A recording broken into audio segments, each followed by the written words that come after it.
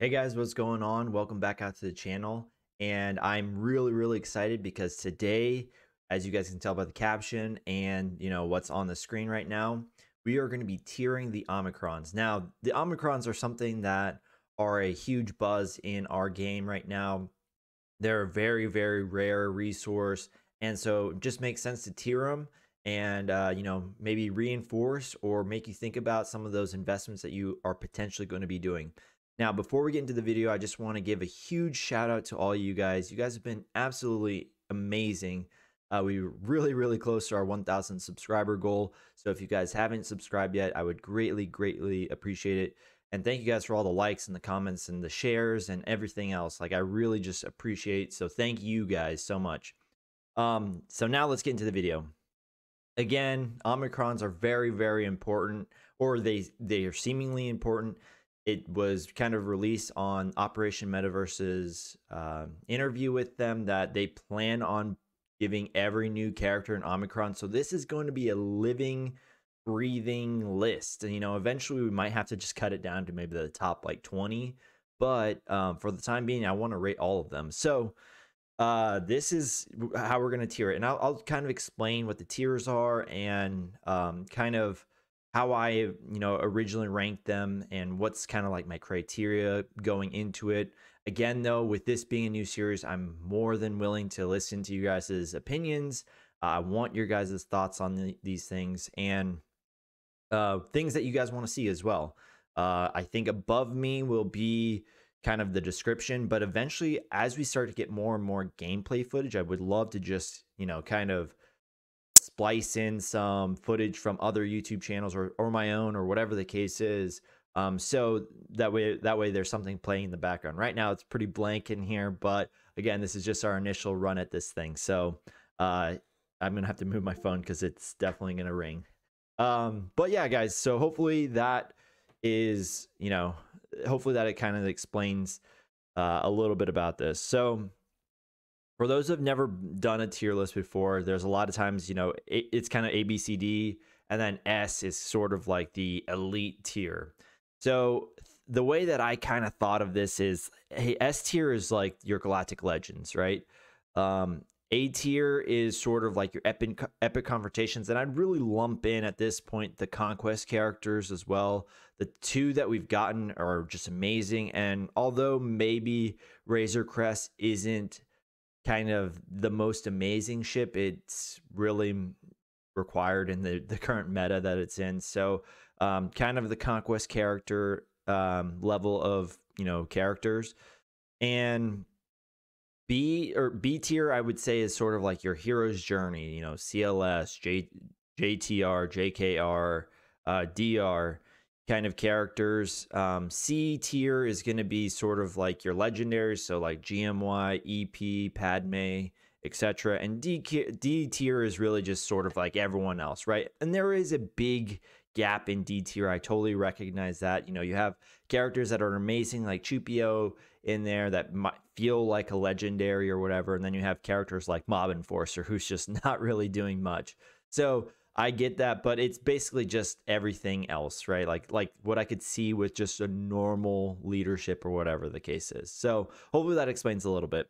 Um, the the criteria that I kind of went off for this is really number one. I didn't care about the game mode. Um, I don't care about if you think that territory battles is the best, or if you think that TW is the best, or GAC is the best. Now that you know there's more to be gained this this doesn't have anything to do with game mode. This is just specifically looking at this kind of goes into number 2, what is the ability, right? So what does the ability do?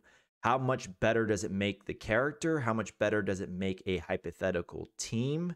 And within those teams too, I'm also looking about, hey, what how much does it take to make that team, right? If it takes a bunch of amazing characters to make it really, really good, then I'm not saying that I'm going to hold that against them, but it's just also sort of not feasible because uh, you also have to have other characters for you know said factions, right? Um, specifically talking about like like when we look at Phasma's Omicron, um, you know, sure you could put SLKR in there, right? But I mean, SLKR kind of just goes into his own team, and then like, hey, how much of SLKR's team are you taking away from him in order to try to make uh, you know Phasma's good? So it's sort of like taking a baseline. And again, that's a little subjective, and I and I understand that. So that's why I want your guys' feedback on this as well. And then, kind of last thing is that we are looking at this mostly from a character standpoint. Again, we want to make sure that the character is good and also the team. There is a team aspect in this, but mostly we're looking at it from that perspective. There will be a few exceptions, and I will definitely talk about those, um, you know, as they come up. Because again, um, some of them they're like one sentence long, right? And it would just like if we were just to rate the one sentence, we'd be like, oh, that's not that cool. But in the context of the team, it might be really amazing. So I just want to get those those key points out there um, before we actually start this list. And as we also introduce all these, I will probably read most of them as they come in.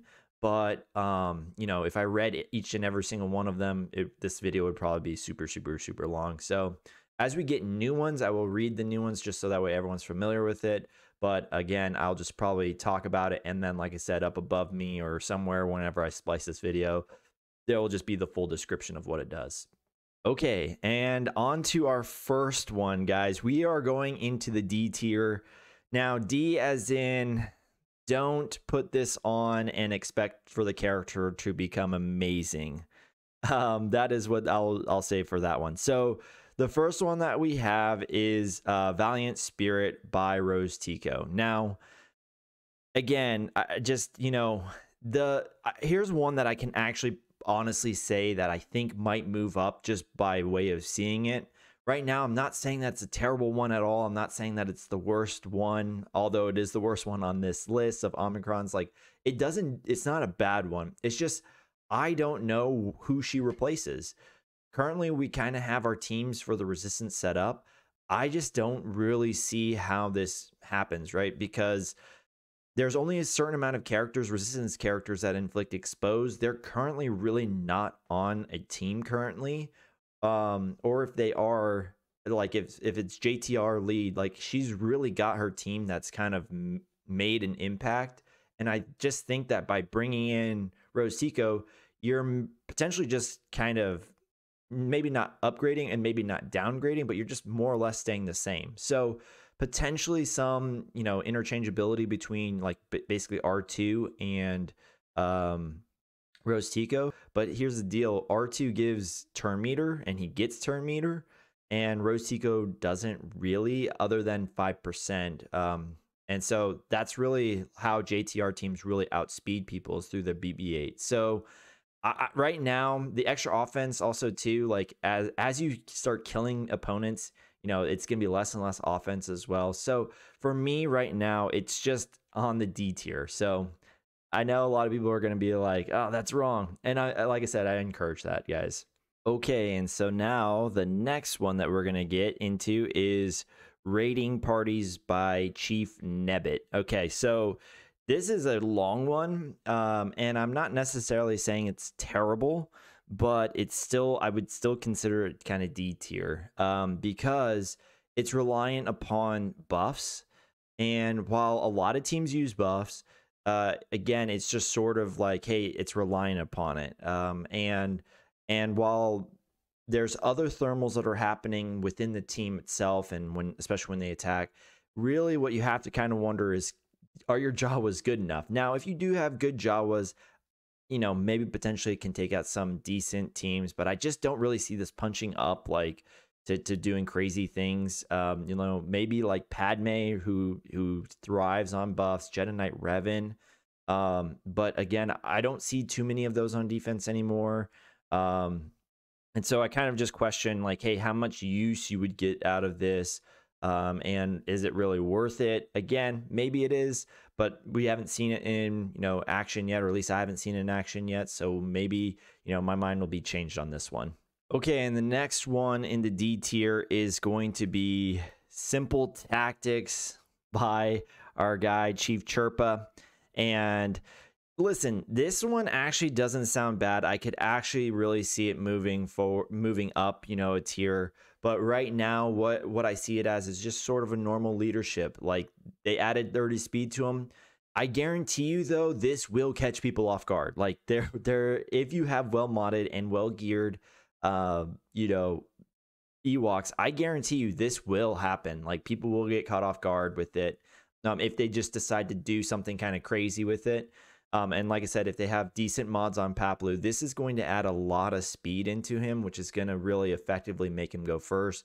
Now, once he goes first, anytime that they do a special, there's a 100% chance to call someone in, which is going to be a turn meter gain. Now, here's where I start to kind of kind of go a little bit off of this and why I, I, I rated him here. The the only increase in damage was on basics. Now, of course, there are people that are called in whenever uh, you know other people are using special or other Ewoks are using specials, but um, there's only really one guy that does decent damage, and that's Wicket. And I would love to have seen it just be a 40% overall increase, like any ability kind of thing, because he really is the guy. Um, and I feel like all of his abilities, like if he got a 40% increase, I'd definitely be more on this. Now, the other side of this, though, is on defense. Why a lot of people still won't fall for this is because I still think that the you know a decent relic nest is going to kill these guys, and that's just kind of the way it's going to be. Unless again, of course, you know modding it has you with a decent potency on Logray and you just time them out. Um, but I just don't see this one really making a huge difference in, in much. Um, so I'm going to put them in the D tier. Okay, next is going, we're moving up to the C tier. C as in you could put this on, but there's probably better options. um, we are going to go with Sith Cruelty as our first one here. And this one, really, why I selected this one, why it's actually so close to the bottom for me personally, is going to be because it's relying upon two things pain and isolate. Now, the, there's only two characters that do each one of those right now. Um, uh, you know, again, uh, you know, they might introduce someone in the future that you know puts those debuffs on other people, and then it really increases her viability. But right now, that means she is solely tied to, um, you know, the Sith trio, which which could be a great thing, or it could just sort of be not your plan. So uh, the big thing too with this Omicron is if she's not with anyone, basically the only thing that's going to happen is if I read if I read this right now. Um, basically, whenever she defeats an enemy, all other Sith allies are going to gain 5% max uh, protection and 5% offense for each stack of loyal hand on her. So there's a max protection gain. There's you know a little bit of offense gain when she's you know defeating people, but again, without Traya, without Sion, you know, those are kind of usually like target one, target two if you're going against them. Um, you know, it just kind of it limits that, and I don't really like that about Omicrons. Like, I want something that we can really grow into, and that is something that, like, again, you know, the the the possibilities seem almost endless, kind of thing. Uh, especially with it being so rare right now. So that's why we put uh, Sith Cruelty there on, on the C tier. Okay, so moving right on to our next C tier, and I think this one's going to surprise some people. Uh, I know it definitely surprised me, but whenever I just looked at it, I just knew. Um, it's going to be Force Repulse from Starkiller. Now, I expect Starkiller to be really, really good in Grand Arena, but this Omicron was really um, a little bit lackluster. Now, this is one of those ones where it's a sentence long. I'm not saying that that's bad. Uh, you know, it's a dispel all buffs. In that ability that you're using, he gains offense for every buff dispelled. The thing that I don't like about it, and again, kind of, you know, with the this rating scheme is that that requires the AI or, you know, the opponent to do something. If you're you know, if there's not really if this isn't a buff heavy team, that Omicron's not doing anything, right? And it's not adding any offense or anything like that like that's my biggest thing with this uh, ability. Now, again, we could get this character at, uh, right and see it, and that move might just be massive, even with only two or three uh, buffs, right? Uh, you know that that could be the case, and that could that would probably elevate this a little bit more. But right now, I just feel like that's just not a great Omicron. So, for that reason, I'm putting Force Repulse down here. Okay, and now the next one that we're going to be looking at is Sadistic Glee by Darth Sidious, right? Um, now, I actually really do like this one, and I think that it has potential to move up. But the real reason why it's down on this level right now is it's got what I call the Galactic Legend clause, right? Again, not really super interested in stuff um, that can be OP. And I think that this does have the potential to be overpowered, but it, it just has this thing where, like, hey, it's excluding Galactic Legends, whether that's for your team or against your team or whatever the case is. Like, I don't like those clauses because as the game moves on, right, like we're going to get more and more Galactic Legends. And as we get more and more Galactic Legends, people will feel the need or the, you know, the the luxury of being able to use Galactic Legends more freely. And so with this, it almost feels like there is some sort of timestamp. Now, we don't know how long that timestamp is or whatever the case is, but the what I do love about this is that we can gain 200 speed um, from from him, right? Like, or he can gain 200 speed from himself by just basically using his AOE repeatedly. Like that sounds amazing to me. Under an EP lead, this guy will take repeated turns as long as he can land some some debuffs. And, and there's just like I don't even care that it doesn't do that much damage. The amount of debuffs that he's going to throw on people, he's going to juice up a ton of targets for your finishers like Darth Vader or potentially Mara Jade. And so I just really, really do like his actual ability. And there's also a little bit of, you know, hell share in here as well. Um, I like I said, I could see this one moving up, but right now the whole like Galactic Legend clause, and the other thing with him too is that even with an EP lead and all that other good stuff, he still has to go, right? Like that's the problem is if you know, we need him to go, and if we can get him to go, then he's not going to stop taking turns. Like it's going to be really really awesome for him, especially under EP lead specifically. So for that reason, I'm gonna say Sadistic Glee right now is C tier, but I like I said, I could see it moving up a tier. Okay, next up we have got Fire at Will, Captain Phasma's. Now, a lot of people added this one. I don't think it's terrible. I just don't think it's that great because again, this is kind of what I alluded to before, right? What does it take away from your SLKR? What does it bring to, you know, to bear on the other team? And again, if you're really running kind of the best SLKR team, at best your Phasma's like a, you know, a C tier team. Like it like it's cleaning up C tier level teams, which is, you know, again, in my terms, a legendary. Um, or potentially losing to him as well. But, you know, listen, it's a decent one. But uh, you know, I just I just don't see that a lot of the stuff that I have seen, and I've seen some really cool stuff.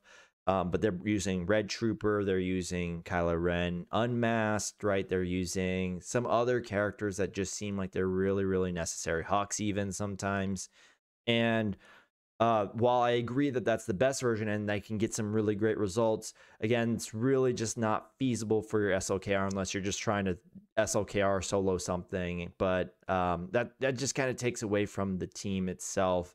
Um, and if you give the you know Phasma the leftover first order. Again, it's just not going to kill too much, but still a decent one to add. Okay, the next one that we have, and actually I can see this one moving down a little bit uh, because again, it's got the Galactic Legend clause, which I don't truly, truly love. But what I do love about it is that it is a ton of protection loss, right? And that's why it's rated here at the B tier. And then we'll just say B as in uh, B pretty good to have, but again, not I wouldn't call it a must have, like especially if it's your first one. Uh, Emperor's Hand, it, like I said, it looks really, really good um, in the right scenarios. But again, that scenario is they can't be a galactic legend. A lot of the galactic legends have a ton of protection that I would love to see this put on, but it wasn't the case. Um, you know, they made the call out to it specifically. Hey, this is supposed to really counter Gas. Uh, Gas is a pretty good team. If if you know your Empire can end up beating Gas, that's I think a pretty good draw. Um, but what I will say is, you know, she starts the turns, right? Like she gets a 100% turn meter. The only thing that would stop that is, hey, if they have a bonus turn, so guys like Wat, guys like Han Solo, or if um, you know, like guys like Hux are in the the opposing team, um, right? Then she's not going to get a first turn, but she's basically guaranteed the first turn, which is again why I've rated it above some of those other like you know anti galactic legends stuff. And again, that protection loss is pretty big. And um, overall, like I just I, I do like it. Uh, and then there's another clause in there that basically, hey, whenever um, an, an, enemy unit is defeated, they gain some max protection, and then they add vulnerable to uh, an, an opponent, right? So uh, overall, like I said, I could see it moving down, but right now, just because she gets that 100% turn meter, and depending on what team, like if she is under an EP team, she's gonna, you know, get that team going, you know, to to start off the, the whole match, which is pretty huge. So for that reason, I guess I will put her in the B tier. That's that's kind of why I decided that. Okay. Next one is the Battlefront Command um, by Rolo. Now I know a ton of people were, you know, kind of dogging on it because it's CB, right? Again, I didn't take that into account. I just wanted to see, hey, what is it? The fact of the matter is, is it's a really good ability actually. like you're you're getting a ton of things. It really makes CLS platoonable um, in that game mode. Uh, but specifically, like if even if it wasn't in TB, this would be a really good ability. Um, and there's just a lot to like about it with Rolo. Not much to say really, other than hey, there's you know turn meter gains. Uh, there's um, recovery of health and protection. There is there's just a ton of things in there that I, that I really do like. Okay, so next one that we have here is going to be Boundless Force Throw and by Starkiller. And actually, another one that I can potentially see moving down. The real reason why I put it this high up is because there is a buff immunity, heal immunity, which are two super, super important things. You don't know how important they are until you're sitting behind someone that can't be killed because, or, or you can't get around a taunt or something like that. Um, just those can't be copied, dispelled, um, prevented, kind of thing. And uh, while he's in a certain state, now that is definitely the part where I detracted a little bit from this one. But overall, like I just really like I like anything that can't be dispelled. I like things that can't be resisted and stuff like that. Those should be like real keys to hey, that's that sounds like that's pretty solid. And um, those two specifically, heal immunity and buff immunity, are really great. Uh, so again, I, I'm going to put Boundless Force Throw here on the B tier. Uh, remember, that's sort of like the you know hero's journey kind of abilities that I that I see in this uh, tier list. Okay, keeping on with the B tier, we've got prepared for anything Dash Rendar's. Now, this is one that I told you guys like most of the times we were looking really solely at the character with a little bit of team emphasis in there as well. This is one where again it's one line, right? It's just that hey, when allies lose, you know, prepared, they gain it again. And this is huge for his team, not only for his leadership, because his leadership makes it to where people hit harder, they're tankier, etc. But really, when you look at the team mechanics, Vandor Chewy isn't going to let anyone die. You have to mark around, you know, assuming that you have a, a person like L3 in the team, you know, you're going to have to mark around. Now, the reason why it's B tier and like that sounds really, you know, crazy because you you know, if you say hey, someone can't die, right? There's still ways around it whether it be uh, you know, annihilates, whether it be, you know, marking around like I said, um or just guys like Gas 501st, right, that don't allow revives. Um so while while it is nice uh, I am going to rate it only as a B tier because I just don't think that it's just completely broken.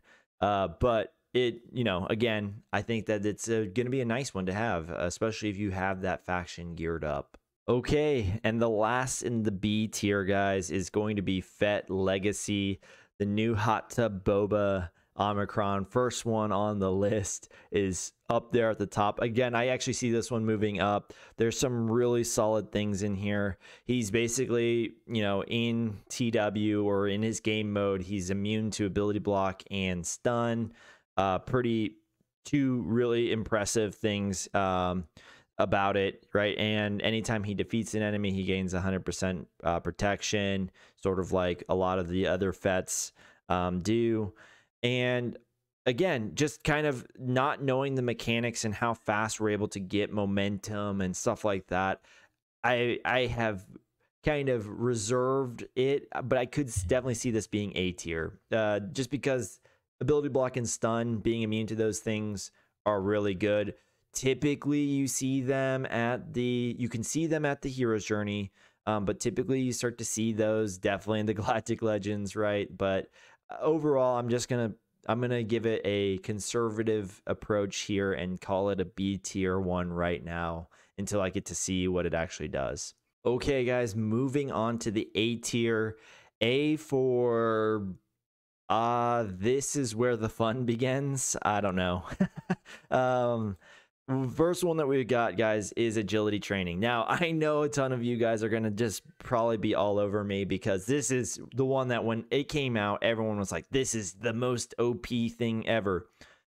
Yes and no. Uh i will say this much. Again remember that we're not trying to rip away from the best teams. Uh the jedi are in a really weird spot. They've got a few premium guys that deal damage and then beyond that, they've just kind of got a ton of support guys. Like you're either just super, super amazing as a Jedi, or you're just really kind of below mediocre. Like there's not too many in between that spot. So, agility training, it's going to be hard to try to take away from a team and still keep that team very, very viable. And all the Jedi leads are very, very viable. I would say, or at least the, the ones that we use, you know, every day. Now, this is amazing. Like, I don't want to kind of down talk it, but I think that it's been overhyped a little bit. Uh, again, it's got the Galactic Legend clause in there. I rated this one higher though because that Galactic Legend clause isn't as important. Um, you still get the huge offense gain, right? Like that part seems like it's still there, even with a Galactic Legend brought in. The part though with the Galactic Legend, it is pretty big, right? Like you can start just killing anyone in any order. But again, you know, if you're bringing in a Galactic Legend versus a non-Galactic Legend, in many people's eyes, that's still a win in you know in favor of the guy that's not got a Galactic Legend. So that's why he's in the A tier. Epic confrontation tier is kind of how I'm calling this. You know, the same same tier as hey, if you know you brought in a Galactic Legend versus gas 501st, you know, again, you would probably take that trade off. So I'm going to rate him right here. Again, we'll see what happens whenever we get down to it. Uh, but I, I'm going to rate him a little bit lower. Um, all right, next one that we're going to get into is the this has been the debate, right? We had to put it, we had to put her above. I, I truly think that this is way more transformational for the bounty hunters than agility training is for the Jedi. That's why I'm rating her above um, Qui Gon Jinn's. Shapeshifter is amazing because it is actually adding speed too. It's adding her base speed, but she's one of the fastest characters in the game. Uh, really, when it came out, I told this to my Discord. I was like, "That looks a ton like Chewpio's, except for Chewpio had doesn't have speed." So Chewpio is really, really good. Uh, or Chewbacca or Chew Nubaka, like whatever we're gonna call him, three Baka. Um, but yeah, I just I just feel like they're people will sleep on that a little bit and that that speed gain can be huge guys and if bounty hunters are beating you out the gate it can be a very very hard fight for you to kind of reverse that and and move back into the you know, the fight without being down a, a guy already. and so same thing though with this like and again why I kind of rated below or above there's no galactic legend clause. There's like like i said once we start getting you know into this spot where we have eight galactic legends people are going to start overkilling. People are going to have ridiculous things for to answer some of these you know good omicrons no matter what but they're just going to GL it, right? And that's what has been proven time and time again. Anytime we get a really solid team, people just say, well, I'll just save a Galactic Legend for it. and so, again, maybe that's a trade off that you win on, but I, I, just really like the Omicrons that don't say that, and hers doesn't say that. So let's move on. Okay, guys, here it is. We've got one right here from Django, or sorry, Boba, Scion of Jango, and it's dual barrage. And I just have to say, when you read the ability, it might not seem that great. Tenacity up, okay. Hey, a lot of people offer that. Uh, but really, what this is, is it's the first character that is gotten a protection disruption. Uh, you know, on the fleet side, there, you know, there's uh, what one, I think. Um, but dual barrage is going to have protection, um, you know, disruption. And again, when you start talking about a lot of galactic legends and, and it can't be resisted, it can't be prevented, it can't, you know, can't be dispelled if I remember right.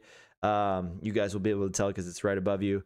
But it, it's that is just an amazing, amazing ability when you're able to just completely wipe away someone's protection pool. Now, again, uh, I'm rating it here because there are, you know, I haven't seen a Galactic Legend stipulation, but like there's a lot of people, you know, preloading their JMLs for protection, especially the R9s. Um, you know, just Galactic Legends in general, they have a huge protection pool that you have to get through. Pretty impressive that you can just disrupt that and just go for their straight health. So, uh, for that one, and just because again, it is the only one that we've ever seen, I'm gonna I'm gonna be pretty high on this one. Uh, and again, I'm gonna give it that epic confrontation A tier uh, for dual barrage. And I think this is the last one, right, in the A tier. I think people will probably be surprised by this, but I, I think I have decent reasoning for it. It is there is much conflict in you, Starkiller. Now, this is one that when you read it, it definitely could feel like a Galactic Legend one. But again, when we're looking at these, I just don't love whenever things are limited. I don't like when things have to have certain things. Right? When I read the the first when I read just the bullet points, I was like, this is amazing. Like there's so many things in here. There's so many like abilities and things to consider when you're going against it. But it also felt a lot like Moff Gideon's leadership. And I know we haven't gotten the fourth one to really support a Moff Gideon lead, but it's just that whole fact that you have to have certain people before you get certain things, right? And in in my experience, right, people will find a different use for someone like that or someone like Starkiller and we'll just be left in the spot where it's like, well, why did we add this Omicron here? And again, with it being such a, you know, rare resource at this point, uh, while the ability itself is great and I would consider it to be S tier and Galactic Legends worthy, it is again the fact that we need certain roles or certain people to fill up. And so that is really the reason why I'm rating it an A tier. Okay, guys, and we are moving on to the S tier, the final tier. And there's only one more left. And so if you haven't done the the math here, it is going to be we'll say S for so freaking good. um, it is Dangerous Reputation, the lead for Hot Tub Boba. I mean, guys, this is actually it just reads as a Galactic Legend leadership, right? Like it gives the mastery gain, it gives a speed gain, it gives health and protection, and he gains like double that.